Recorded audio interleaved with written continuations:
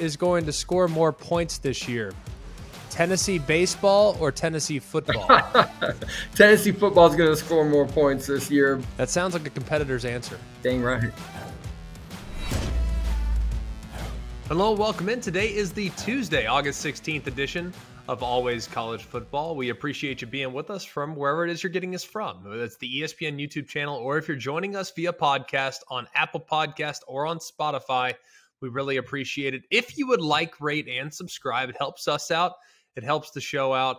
And we're trying to tailor the content to your wishes. So just tell us how we can get better there in ESPN's YouTube comment section. Great game plan in store for you today as we are going to have a great visit with the head coach of the Tennessee Volunteers. He is Josh Heupel. We'll talk about what the Volunteers might look like and where they are in year number two compared to where they were last year. The expectations were low, they far surpassed those expectations. So we'll have a great visit with him. And we're going to give you what we've talked about the last couple days. We're going to hit an AP poll note of the day. So every day you tune in, you're going to get an AP poll takeaway. Does that sound like a fair enough point? All right, cool. We'll get to it. But before we do, let's talk about it with head coach of the Tennessee Volunteers, Josh Heupel. So happy to be joined by the head coach of the Tennessee Volunteers. I thought he legitimately deserved coach of the year recognition last year with what he inherited versus where we're at today. What job you did last year, coach. Uh, he's Josh Heupel, and he he joins Always College Football. So, coach, let me just go back to last year when you took over. When you took over, what was your initial impression of the task that was sitting right in front of you? Uh, uh, we had a, a long journey uh, to to get where we uh, where we still are trying to get. Um, but uh, um, you know, it was one where you you you come into the building. It was unique in the timing of which we took over. They had already started the the second semester, and so I got a chance to to see the kids kind of in action in the weight room and, and some of the things that were going on inside the building. But um, you know, hire a great staff, guys that have the same type of core beliefs and characteristics that uh, that you want inside of your program. And then just start you know that that process and journey of developing relationships with your players and then developing them as players too. And and uh, you know from a, accountability and, and, trust inside of the building to the effort and strain that you have to have the way we attack every day uh, just you know tried to build that. And uh, you know where we're at today and, and, where we started man it's been a, a, great journey up until this point. We've climbed really quickly uh, we still got a long ways to go but uh, we've gotten to the point where uh, we love and I love being in the building with the guys. They're, they're coachable, they love one another, and uh, they got great energy every day. Yeah, we're a couple weeks from kickoff, and, and we're going to get to this year's roster, this year's team, and and the excitement that surrounds the program and the interesting changes that you've made to the program. But uh, I I can't help but look back to to the time that we spent with y'all last year, and it was so close. It was a great season, but it was so close to being an exemplary season. Yeah. Uh, what's been the message to the guys? Because there were some games where there were some self inflicted mistakes that let you out on the losing end. And those things could easily have flipped in a heartbeat. So, what's been the message to the guys to make sure that, hey, let's not make those mistakes? Let's not shoot ourselves in the foot. Let's take care of business in crucial moments to make sure that in year number two, those mistakes that we made last year are a thing of the past. Yeah. You know, uh, when, when you look back at last year, um, and during the course of the season, I, I, think part of that is why we created buy-in too. We were able to show the players, man, here's things that we did that affected and changed the way the game was played and the reason the outcome happened. It wasn't, you know, some major issue. It was the little details in, in how we function, how we operate, how we compete, and being a smarter football team. And uh, that created buy-in. I, I, think that's why you look at each quarter of the season. Um, I thought we got better every single quarter and played our best football at the at the end of the year. Um, you know, the off season, there were a lot of near misses. Uh, you know, games, four or five games in the fourth quarter, we had an opportunity to win that we didn't. And uh, being able to reset this off season, go back to uh, the process that you have to go through, the journey that it is, uh, the attention to detail, a year uh, more in our, our, strength and conditioning program, physically changing our bodies between that and nutrition, uh, the accountability in how you do anything, is how you do everything from class uh, to your social life, to your sleep habits, to how you're uh, functioning and operating inside of the building. We've been very purposeful, very intentional in everything that we've done. We've you know, we built a lot of uh, connection last year. This year's been about uh, creating a bunch of leadership and, and having them have the ability to communicate. You've been around this game long enough to know, um, you know, the coaches and their expectations matter. Championship seasons happen because there's accountability and championship level uh, of uh, leadership inside of the locker room, and and uh, we've started to take that journey. Uh, I, I, love what uh, our our uh, leadership council has done, the ownership, the buy-in. you go out to the practice field with us now. sometimes as coaches, it's hard to get a word in because there's typically somebody on the sideline that's already talking and communicating with that guy and and coaching him up, which is exactly exactly the way that we want it here. And and so we've we've paid that price through you know the early part of this uh, this off season. Uh, we got to finish training camp uh, the right way and, and, put ourselves in position to have a great season. Well, the good news is, is like some of the mistakes, coach. It's like you know a drop shallow cross against Florida, you know a long foul ball against Bowling Green or Pitt. Yeah. You know, I mean, it's like the most correctable things. It's like it's not like, hey, you know, we couldn't block them. It's like, hey, we dropped the pass. Like, all right, I feel pretty good about making those plays here in year number two. Uh, you talk about the excitement around the program. We can all feel it. Like I, I'll be the first one to admit, like, yeah, I know I went to Alabama, but I root for Tennessee. Uh, I want Tennessee to do well. I want Tennessee because they're a traditional power. Uh, I want Tennessee to be in the mix. You went to Oklahoma. You want Oklahoma, probably, even though you don't work there anymore, but you want them to be there. Like, you acknowledge the historical significance when great programs are great again. It's good for the sport. So, what were your impressions of Tennessee football over the last decade compared to what your impressions are now, having been in Knoxville the better part of the last 18 months? Yeah, having been in this league before, seen it up close and personal, been in, being in the same division with them for a couple years, and obviously paying attention to it just as a fan of, of college football. Iconic brand that uh, has all the tools and resources to, to be in the upper echelon of college football and have an opportunity to compete for championships year in and year out. Uh, where it resides, the footprint that we have, the ability to recruit at a, a, really high and elite level, and a brand that allows you to go national uh, at times as well. And um, to me, in, in, some of this stems from from my playing days. You know, I went to Oklahoma when they hadn't been to a bowl game for five straight years. That's not what I stepped to when I came here to Tennessee. Uh, but there had been some some ups and downs, and to me, when you have the right leadership, it was important for me in the in the process to make sure that that leadership had a, cohesive vision uh, of where they wanted this program to go. Um, and then you're able to hire great people. And, and uh, so, um, you know, I viewed this as uh, a unique opportunity to take over an iconic brand, uh, put a new age approach on the great traditions uh, and history of that uh, program, uh, and to be able to do it your own way, but also have everything that you need to recruit and, and compete at the highest levels as good as I thought it was on the outside, uh, it's even better on the inside. And uh, the fan base is passionate; they care. They care every minute of every day. Um, you know, Knoxville to me is one of the coolest college cities in, in all of college sports. It is an unbelievable place to live. Uh, it's big enough that you got personal and professional development opportunities for your players. Uh, at the same time, everything bleeds orange and white. It is a, uh, a really great place to live. You ever get nervous about your players having to walk to class because it's so hilly and mountainous? Like they get tired walking to class. You ever get worried about that? Uh, you know, we're at the bottom of the hill uh, right here by the river with our, our football facility, the dorm. Yeah. It's uh, it's a quick climb from the from the dorm. Uh, we've made sure that they're getting to class though, Greg. Oh, I believe it. Now I remember on my visit there, it was like, golly, I, this is this is the most beautiful. It's so beautiful, but God, I'm exhausted. I better get in shape if I want to play here. I remember that being a big part of it. Uh, you talked about the new style approach and your offense. Um, I'm trying to figure out when the genesis of this offense really took place because at Missouri I don't feel like you were as tempo as you are now. Maybe I'm wrong. I'm just maybe I'm misremembering it. At your previous destinations prior to Missouri, I don't remember it being quite as high octane. UCF, of course, it was.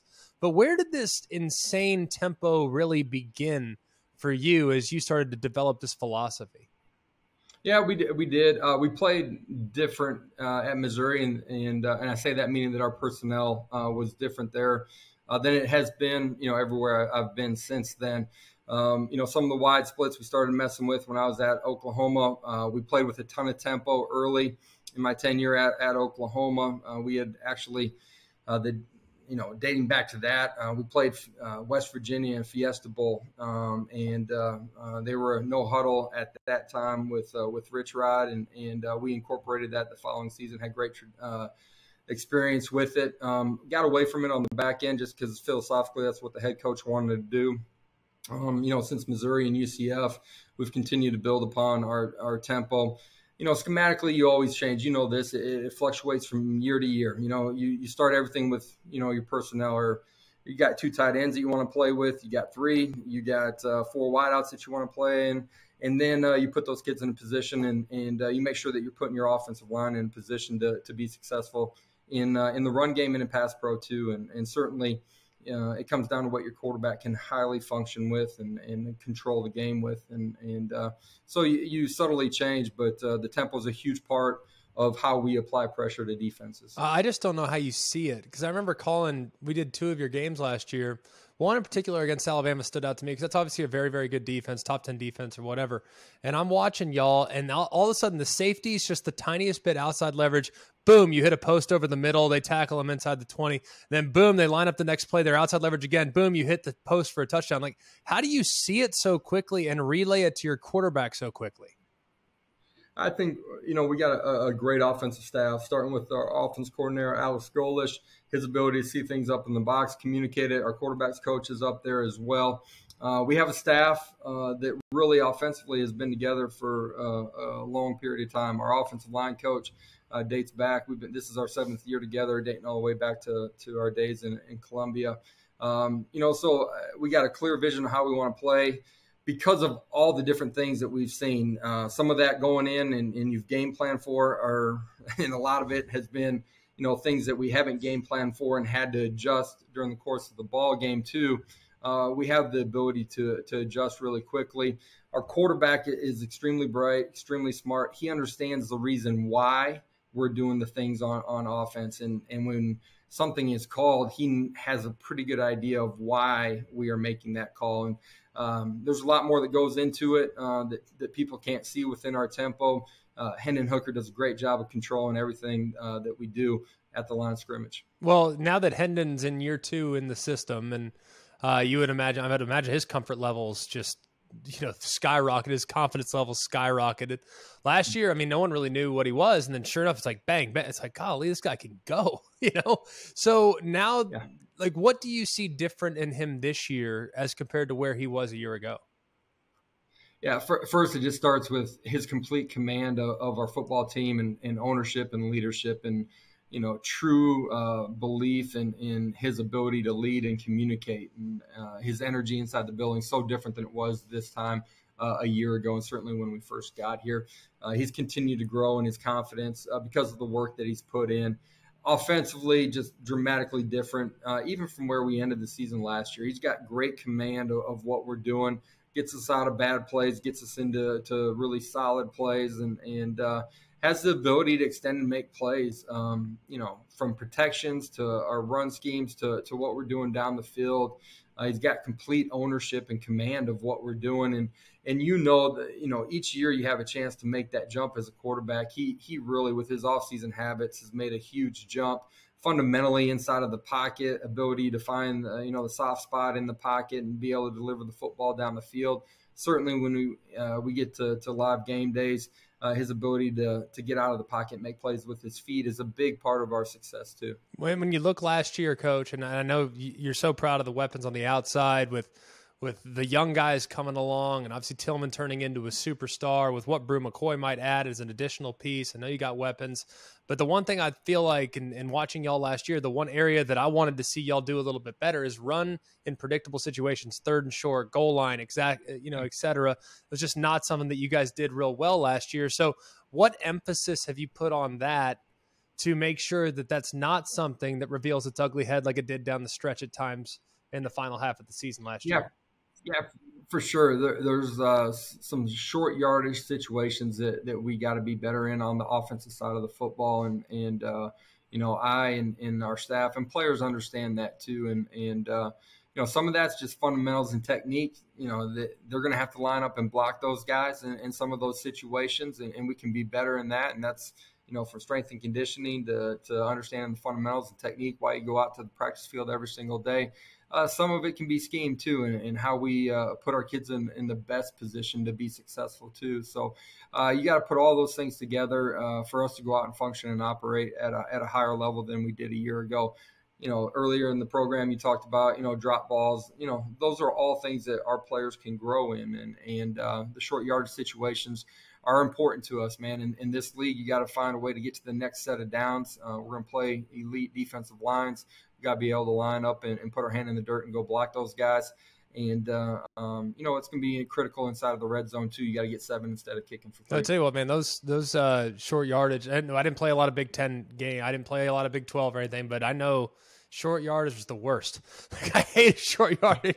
it was a freaking war for those six inches, but it was what it was. Of course, I always wanted to call QB sneak too. It was awful. I hated quarterback sneaks and short yardage, but yeah, it sounds and feels a little bit different in those short yardage situations in this league than it does in some of the others. Like it is not fun. Uh, I want to talk briefly about your defense. It, it feels like just uh, I, have been comparing y'all a little bit all off season to Ole Miss last year, and I say that as a glowing compliment because I believe in your quarterback. I believe in your offensive system.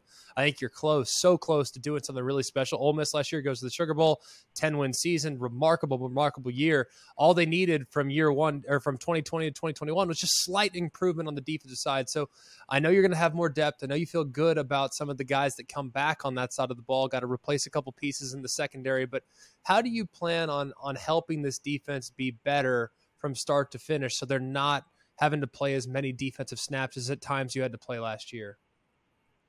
Yeah, long term, uh, uh, playing just slightly better defense or average defense isn't isn't the standard here, man. There's this is the land of great defenses and, and great defensive players too. And as we continue to add uh, add players to our roster and, and, develop the ones that are here, I, I know that uh, with Coach Banks and our defense staff, we're going to play elite defense. There's, there's, no question in my mind. Um, you know, last year. Uh, you know, I didn't talk about it very often, but you know, we had 69 scholarship yeah. players. You look at, I think it was 27 guys that left uh, before we got here in the transfer portal. I think 24 or 25 of them were starting somewhere else uh, in college football, most of them in Power Five. There were a lot of good players that left, and, and there were a lot of them that left from the defensive side of the ball that were playing at, at other places. And, and um, you know, for us, we weren't as deep as we needed to be. Our kids understand that we've tried to develop that. They got to still go earn it here on the back half of training camp and in the early part of the season. But uh, we're going to need to play more guys. Um, we got to get better at, at, affecting the quarterback in, in, third and long situations. You look at us, you know, I think we led the country in tackles for loss up until maybe the last week of the season. Uh, we were in a bunch of third and long situations where if you're going to play defensive football, that's where you want to be. We got to get off the field, and and uh, that can be with your, your secondary being better in, in your coverages. Some of that's you know understanding your scheme in, in year two in the system, but we also got to be better at, at affecting the quarterback. Coach Garner uh, does a great job with our defensive line. Uh, we've gotten better. We've developed there. Um, we've added pieces. We got some young guys in this program that, that got to grow here quickly uh, before we get to kickoff. Uh, that are going to have to help us in those situations to, to go get the quarterback. Um, and uh, long term, um, I, I, really feel strongly about who we have in the building and, and our ability to go play elite defense. Yeah, you could you could definitely disrupt last year though at the line of scrimmage, like you said, it forced a lot of negative plays just getting off the field on third down. I know uh, is a huge point of emphasis for y'all. I, I want to quickly ask you about what's going on, bigger picture in the program with the changes that are coming to Neyland, some of the commitment from your administration to the football program, the support that you're getting from your NIL collective, and everything else. You know, where is Tennessee right now compared to, say, where it was a year ago, as far as just the support that you're getting from everyone outside the building? Yeah, the excitement, the energy, Knoxville, the state of Tennessee, Vol Nation across the country. Uh, it's such an entire, exciting time to, to be a part of of the Tennessee uh, athletic department. Um, and I say that because you look at everything that's going on basketball, baseball, the success that we've had. It's it's a really cool uh, time where our brand's in front of everybody for 365 days out of the year. On the football side of it, man, we got a $35 million renovation to our current athletic uh, facility here uh, for football. Got a $100 million project that's finishing up inside of Neyland, be ready for kickoff. Uh, got a you know close to a two hundred million dollar project the following year as well uh, in renovations on, on Neyland. So there's so many po- positive things that are happening here that's had a huge impact on, on our ability to recruit. Uh, you combine that with the brand of football that we play and the culture that we have in the building. Uh, it's been a huge part of our recruiting success. Yeah, I, I think it's uh, I think it's very exciting where you guys are at, and we'll get you out of here with this. We always ask kind of a fun question at the end. Uh, mine's a little bit of a two part question. Is that reasonable? You good with that? Yeah, uh, potentially. We'll see what the first and second part is. All right. Who is going to score more points this year? Tennessee baseball or Tennessee football? Tennessee football is going to score more points this year, but uh, I expect uh, the ball to be pounded out of the yard when we get to spring in in baseball season too. Oh, they if we want to go flash back to the to, to this past spring, if we're going to go 2022, uh, you guys might have to jump pretty high to get over that hurdle that they've already set for you. And then finally, who is a more intense competitor, you or Tony Vitello? Not even close. I am. Uh, Tony is is uh, a fierce competitor for sure, but uh, he's a close second. That sounds like a competitor's answer. That's the way I see it. Dang right. All right, Coach Heupel, man, we appreciate the time. Thanks so much. Best of luck this year. We can't wait to watch your Vols here in year number two. Thanks, Greg. Appreciate it. Have a great day.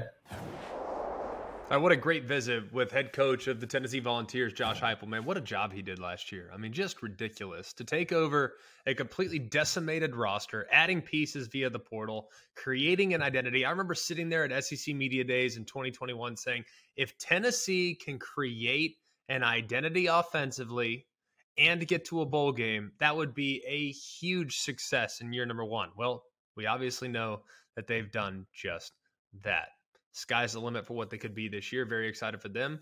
And more specifically, very excited for their fans. All right. The AP poll takeaway of the day. Being number one is not exactly where you want to be, at least in this century. Since 2000, there have been only two teams that started at number one overall in the preseason that went on to win the national championship. That was 2004 USC and 2017 Alabama. So Alabama carries the crown right now. Will they be able to buck the trend like they did five years ago? We will find out. For all of us here at Always College Football, we really appreciate you being with us. Thanks to Josh Heupel, very generous with his time here during what is a very busy and important fall camp for the Volunteers. Thanks to Mark Kubiak, who's having him me at his house. He's right over there. Yeah, he's right over there. And we uh, are having a great time together here in Charlotte. So we appreciate the time that we've been able to spend together. And thanks to all of you. Please like, rate, and subscribe on the ESPN YouTube channel, or if it's on Apple Podcast or on Spotify, it really helps us out. It really helps out the show. So we really appreciate the interaction. Hit us up in our email at alwayscollegefootball at gmail.com. Hit us up on social media at alwayscfb. That's on Instagram and on Twitter. For Mark Kubiak, I'm Greg McElroy. Hope you have a wonderful day. And remember, it's always college football.